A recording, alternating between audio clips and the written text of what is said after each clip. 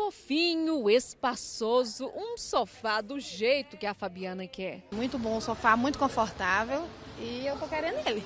Como autônoma, juntou um pouco de dinheiro todo mês e fez o próprio 13 terceiro, justamente para aproveitar as promoções voltadas para quando os trabalhadores formais recebem o pagamento da primeira parcela. A vontade de trocar tudo, né? Aí com a pandemia as coisas ficaram mais difíceis, né? Aí a gente vai trocando aos poucos. Nesta loja, as vendas da Black Friday foram 50% maiores do que as de 2021.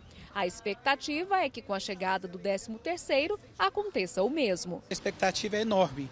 O consumidor ele espera o ano todo para receber a primeira parcela do décimo, é para aproveitar as ofertas, né, no mês de dezembro, que é um mês também que a gente tem muitas ofertas e muitas facilidades para o nosso consumidor. E eles acabam usando aí a primeira parcela é, como entrada para fazer suas compras no carnezinho ou no cartão de crédito, para colocar aí durante o ano todo aí de 2023 aquela parcelinha que cabe no bolso. O pagamento da primeira parcela do 13º deve injetar 250 bilhões de reais na economia do país, de acordo com o DIEESE.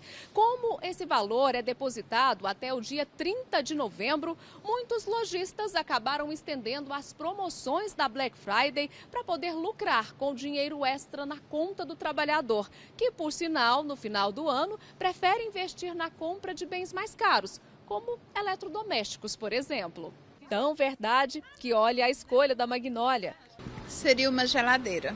Quem tem o seu 13 terceiro, ele visa o ano inteiro, 12 meses para isso, mudar na casa. Magnólia organizou todas as contas para usar o dinheiro extra sem passar aperto depois.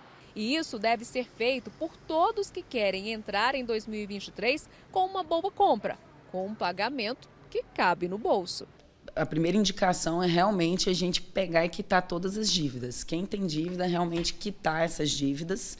A segunda indicação, o segundo passo, seria organizar para as contas aí de começo do ano, que a gente tem um fluxo grande de contas, IPVA, IPTU, e sobrando um caixa, investir. A gente não criar novas dívidas, não sair gastando aleatoriamente, colocar o investimento como uma pauta aí no dia a dia também para todo o recurso que entra.